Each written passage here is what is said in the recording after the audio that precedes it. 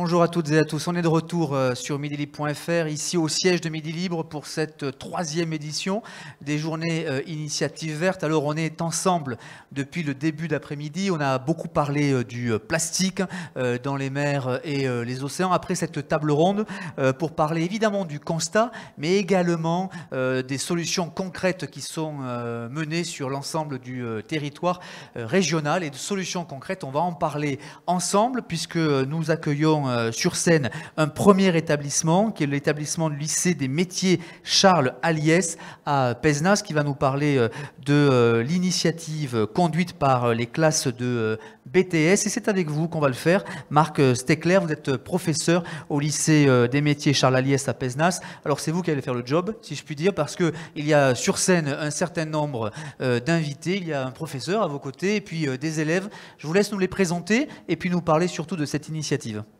Eh ben, merci beaucoup. Donc, euh, merci beaucoup à Midi Libre donc, euh, de nous avoir invités. Donc, effectivement, alors, euh, le sommaire, c'est simple, c'est Plastique à la loupe, organisé par donc, la fondation Tara Océan. et là, je vais laisser la parole à une des étudiantes qui va vous en parler.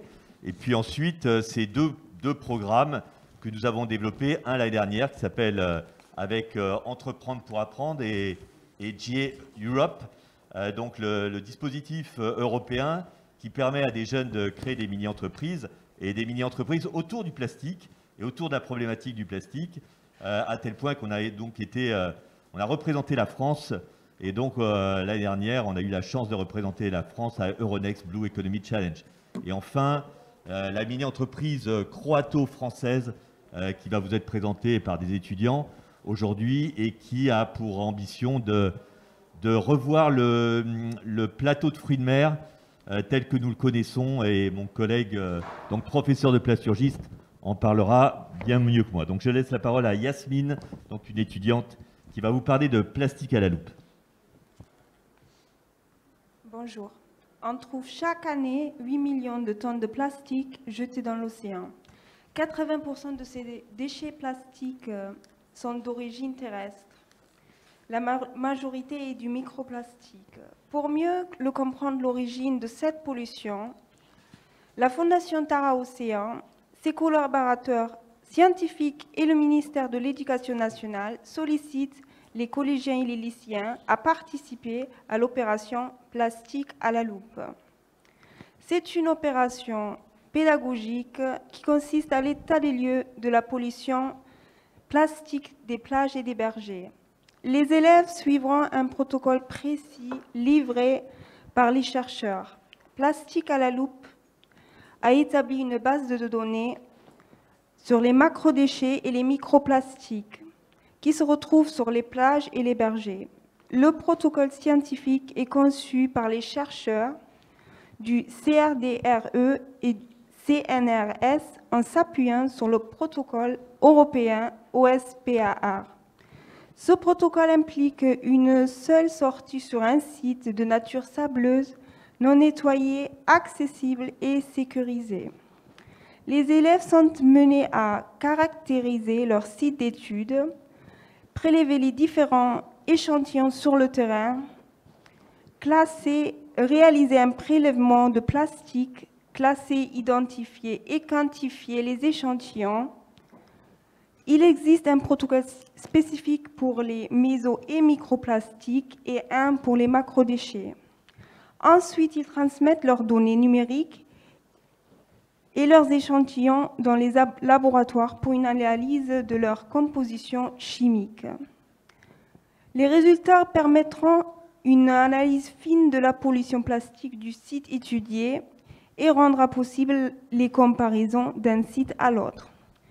Ces données collectées sont fournies à la recherche scientifique qui contribue à l'aide à la décision européenne. Donc euh, Yasmine, merci beaucoup. Donc euh, moi je alors je me permets de reprendre la parole en disant que euh, l'année dernière donc nous avons participé donc pour la première fois donc à Pézenas et donc à Pézenas nous avons nous avons collecté des déchets. On a remarqué qu'il y avait peu de microplastiques, beaucoup par contre de macroplastiques et donc nous reprenons l'opération cette année. Donc, ces étudiants-là, en janvier, vont euh, faire les prélèvements et envoyer, vous avez vu dans le film, au CNRS de Banyuls, à Jean-François Guiglione. Donc nous leur envoyons, nous lui envoyons toutes nos analyses et ils font donc une opération de, plastique. Maintenant, je voudrais laisser la parole donc à, à Morgane qui va vous parler donc de la mini-entreprise Cioliès. Et vous pouvez peut-être voir les tuyaux d'arrosage. On est parti donc de, mais elle va en parler mieux que moi. Ils sont partis donc d'une bouteille en plastique et ils en ont fait un tuyau d'arrosage. Bonjour à tous, je m'appelle Morgane Bonnour, je suis étudiante en deuxième année de BTS NDRC au lycée Charles Eliès de Pézenas. Je suis là aujourd'hui devant vous pour vous présenter la mini-entreprise Cioliès. L'histoire de Cioliès commence il y a un an avec la participation de notre lycée au programme Plastique à la loupe créé par la fondation Tara Océan qui a permis de recevoir un kit avec un protocole afin de prélever des plastiques dans les mers et les océans. Mais le kit nous a interpellés, étant un plastique non recyclable et le plastique, nous n'en voulons plus. C'est pourquoi l'équipe de Cioliès a travaillé pour répondre à cette problématique, la création d'un produit recyclé qui changerait notre quotidien. Tout ça dans le cadre du dispositif EPA, Entreprendre pour apprendre, ainsi que le concours Euronext Blue Economy, qui nous a permis de représenter la France face à sept pays de l'Europe. Cette année, de nouveaux étudiants retenteront l'expérience avec de nouvelles idées tout aussi innovantes.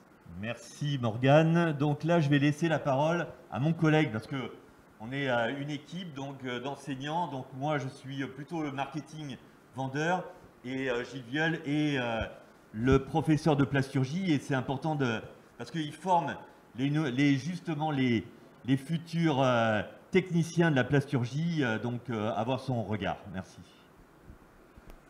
Merci Marc. Donc, vu la problématique que Marc nous avait présentée sur plastique à la loupe, on a décidé de, partir sur des bouteilles PET, donc les bouteilles en plastique qu'on voit quotidiennement, et pouvoir les transformer en tuyaux d'irrigation. Donc, grâce à mes étudiants, on a pu euh, broyer, recycler et fabriquer un tuyau euh, dans sa totalité avec un pourcentage de matière vierge incorporée pour avoir euh, des propriétés mécaniques nécessaires.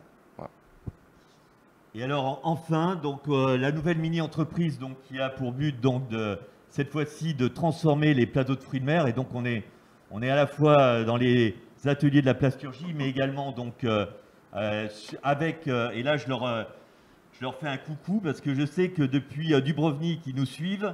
Ils sont en direct live, donc euh, depuis le lycée économique et, euh, avec qui nous menons toutes les études. Donc c'est une d'où le nom de la mini-entreprise qui s'appelle Blue Team Crow Hawk. Crow pour Croatie et Hawk pour Occitanie. Donc et là, je laisse la parole à Wissem. Bonjour à tous. Donc euh, moi, je vais m'occuper de présenter euh, la nouvelle mini-entreprise. Donc euh, une entreprise en collaboration avec un lycée croate.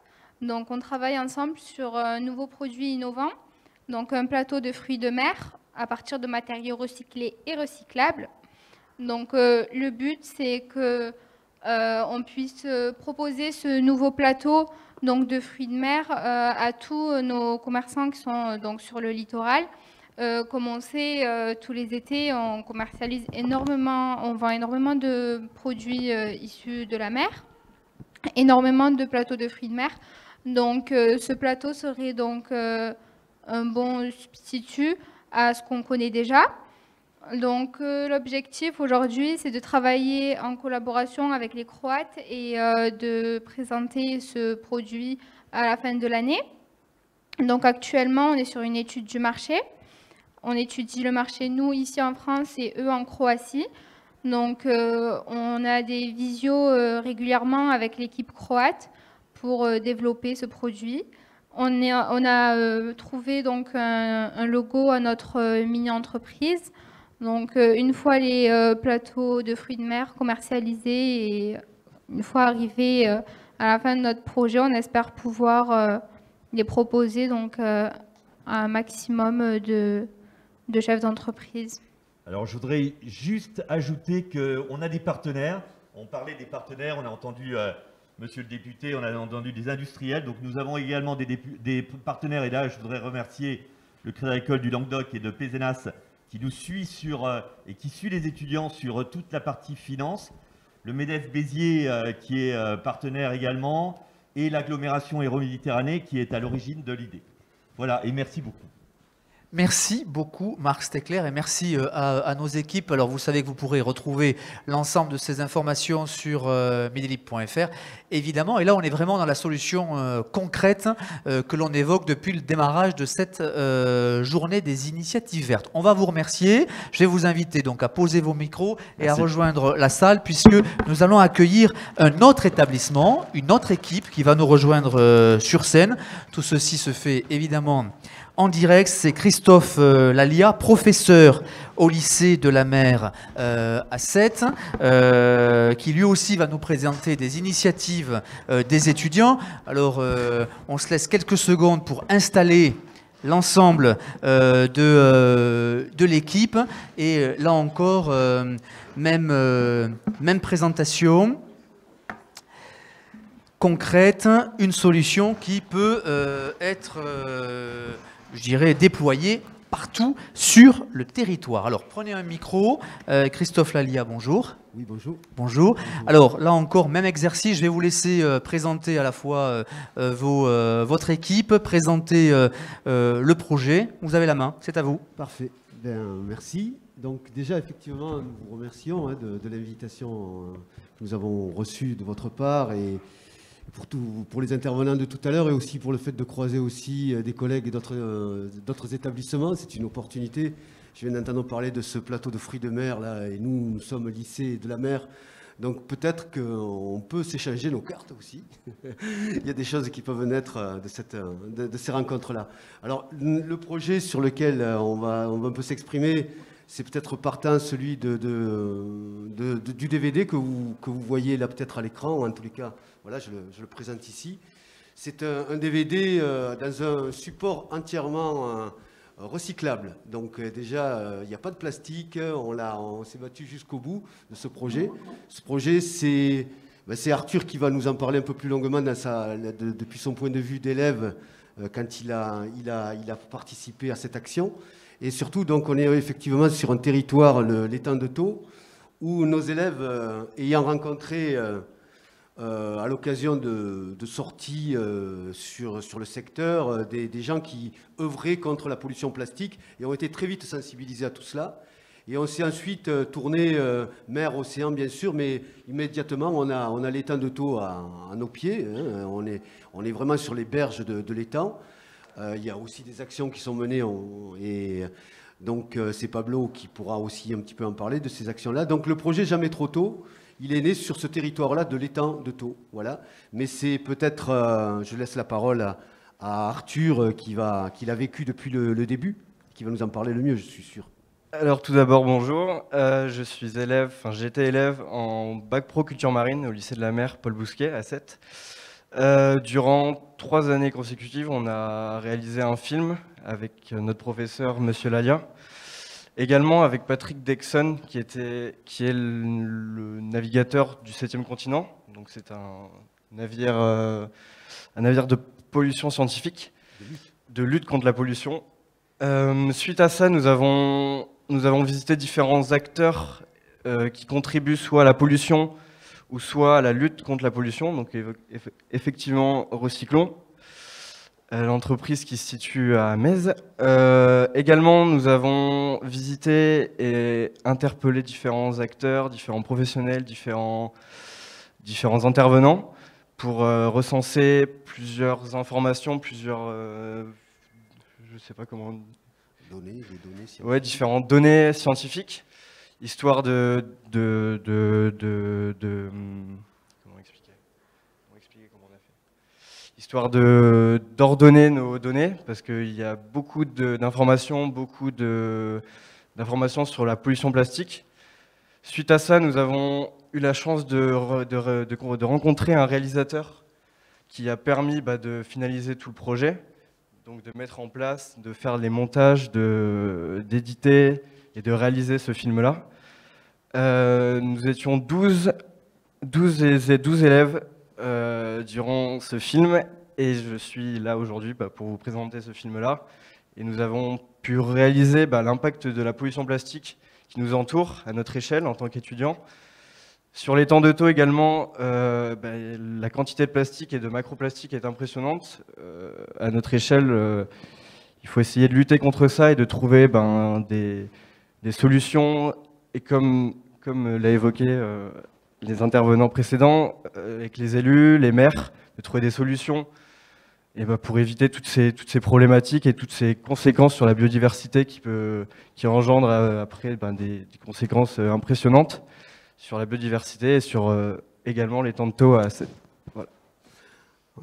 Si, je viens juste peut-être un peu compléter par rapport à ce que vient de dire Arthur. Effectivement, c'est un projet de longue haleine. Hein. On, a, on est parti, Arthur est actuellement en BTS. BTS PGEM, pêche et gestion des environnements marins. Et il était, tu as démarré en quel euh, euh, J'ai démarré en seconde culture marine. J'ai fait les trois ans avec mon professeur Monsieur Lalia, Christophe. Suite à ça, euh, je suis allé, j'ai continué dans la branche euh, scientifique, en continuant en allant en BTS PGEM, qui est la continuité euh, dans la biologie de mon bac pro. Et nous avons, et nous avons, et je suis là aujourd'hui pour vous présenter et, parler de l'enjeu du plastique et de la pollution et l'impact qu'on a sur, sur notre environnement. Et surtout l'impact du macroplastique, parce que c'est vraiment le plus, comment dire, le plus pénalisant dans l'environnement. C'est un plastique bah, qu'on ne voit pas, qui est invisible. Donc on ne se rend pas compte de, l'impact que ça a ben, sur déjà, premièrement, sur notre, notre, corps, notre corps à nous. Et le fait de l'ingérer et de, et de, et de, et de l'ingérer et de l'ingérer. Voilà. Alors, juste euh, pour en terminer euh, sur Jamais trop tôt, et peut-être Pablo, après tu pourras en parler de, ton point de vue, c'est que c'était un projet aussi de sensibilisation et de communication autour de cette, euh, problématique la majeure. Donc euh, le but, c'était que ce soit aussi des, lycéens maintenant étudiants à niveau BTS, mais que, ça, hum, que ce soit eux-mêmes, ces jeunes-là, qui aillent à la rencontre avec le DVD, avec le film d'écoles primaires, d'écoles euh, euh, du secteur, de collèges, ce que nous avons fait et commencé à faire, malgré les difficultés de la période Covid, bien sûr. Hein. pour circuler, c'était moins évident. Mais l'intention était d'aller informer les, le contact avec les, jeunes des, classes, des classes primaires. Et ça a été euh, un très, très, très bel échange. Voilà. Pablo? Bonjour, moi du coup c'est euh, Pablo euh, Bambus. Je suis en deuxième année, moi du coup, pour le coup de, BTS. Du coup, pêche et gestion de l'environnement marin. Donc c'est tout ce qui est au niveau de la pêche, tout ce qui est au niveau de, du coup, de l'environnement marin, mais on, va beaucoup plus loin aussi dans la biologie, l'étude des, espèces, des habitats, et il y a une grosse partie sur la pollution. On a une matière rien que pour ça. Et donc euh, moi j'ai fait mon stage là en début d'année en septembre pendant deux mois dans une association du coup qui s'appelle Recyclon euh, qu'il a déjà rencontré pour euh, faire le film, qui elle en fait va contacter la criée et les pêcheurs et récupérer le plastique qu'ils pêchent pendant leur journée normalement et plutôt que de le jeter à la poubelle normale, ils vont faire le circuit pour qu'il soit recyclé. Et donc moi du coup j'ai commencé le projet à 7, donc d'aller voir les pêcheurs, de voir avec la criée comment organiser ça. J'ai fait quelques jours sur des chalutiers aussi pour voir avec eux comment euh, gérer le tri du plastique à bord. Et euh, c'est du coup, je me suis rendu compte que c'était un métier euh, très difficile, le pêcheur en tout cas. Et c'était vachement intéressant. Les gens avec qui je travaillais, donc le créateur de l'association Xavier Murard et la co-créatrice Marie-Laure, étaient pareil très professionnels. Et euh, ça m'a permis aussi beaucoup de me rendre compte des quantités que les, pêcheurs peuvent pêcher, en fait. Et surtout aussi, que ça, ce que les gens ne se rendent pas compte, c'est que les pêcheurs ne polluent pas, au contraire. Ils ramassent beaucoup de plastique dans l'eau pendant leur journée, et ils le jettent juste à la poubelle normale, ils ne le rejettent pas à l'eau. Ils vont pas, c'est comme si vous détruisiez votre lieu de travail. Ça ne fait pas de sens. Parce que pendant très longtemps, on pensait que c'était les, pêcheurs qui, polluaient. Euh, et, ensuite, du coup, ce qui est vachement bien, c'est que le, nous, dans notre lycée, on est très sensibilisés là-dessus, au plastique, parce qu'il y a une journée dans l'année qui s'appelle Berge Propre, où en fait, ça va être tous les secondes et tous les premières années de CAP qui vont euh, aller du coup sur euh, toute la plage qui suit le lycée, donc je, à 7, c'est euh, la plage qui longe tous les temps de taux, ils vont ramasser tout le plastique qu'il y a sur cette plage. Et en fait, du coup, ils vont faire ça pour, pour bah, du coup, nettoyer, pour que le, lycée montre aussi son, engagement au niveau du nettoyage de cette plage qui suit son lycée, qui est en partie polluée par les élèves, mais en réalité très peu. Et cette année, ce qui était vraiment bien, c'est que normalement, c'est les BTS1 du coup, qui organisent ça tous les ans. Mais nous, l'année dernière, avec le Covid, on n'a pas pu. Du coup, on a organisé le nettoyage du port en plus. Donc ma classe, elle a nettoyé que le port du lycée. Et eux ont organisé avec les secondes, du coup, toute la plage.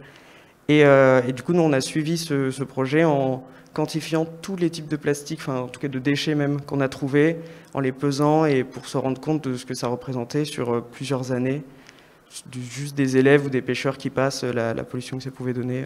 Si tu veux parler de Berge Propre euh, Je veux rajouter quelques points par rapport à Berge Propre. Donc on, a observé différents déchets, que ce soit professionnels ou alimentaires, ou que ce soit des déchets comme des vélos, des, radiateurs, des, remorques, des bateaux. Tous ces déchets-là, ils n'ont pas, ils pas, ils pas à être là. Et, euh, et justement, en les quantifiant, en suivant les années précédentes qu'on a fait, on arrive à faire des statistiques et à établir si c'est positif ou non. Cette année-là, euh, ça a été un peu compliqué vu les, intempéries, mais nous essayons de chaque année de, de, rajouter des données, des données scientifiques en quantifiant, en catégorisant chaque catégorie de plastique et en, et en faisant une analyse après en classe avec nos professeurs pour essayer de comprendre l'impact que ça a et les enjeux que ça peut avoir euh, pour notre génération et de ne pas en subir les frais euh, au futur. Voilà. Et euh, ce, qui est, ce qui est vachement bien aussi, c'est que vu qu'on a tous les deux fait le, bac pro, on a tous les deux ramassé en fait sur ces, ces plages en seconde. Et du coup, là, on a pu voir comment ça se passe pour l'organiser et pour se rendre compte en fait réellement des déchets. Christophe Lalia. Oui, bah, juste donc on va peut-être conclure là-dessus. C'est vous avez bien ressenti euh, l'engagement de, ces jeunes euh, en formation. Et ils parlent de, leur génération, mais ils parlent aussi de leur métier. Donc euh, ce qu'on veut dire aussi, c'est que pour mener ces actions, c'est vraiment que nous nous appuyons sur un partenariat aussi au niveau local. On, est sur un territoire, l'étang de Taux, où au niveau associatif, ben, ce projet a pu naître grâce notamment au musée de l'étang de Taux de Bouzigues et les amis du musée de l'étang de Taux, qui est une association euh, qui, nous a vraiment poussé dans, cette direction-là, et puis les partenaires que, de circonstances que l'on trouve euh, à, à ces occasions-là. Voilà.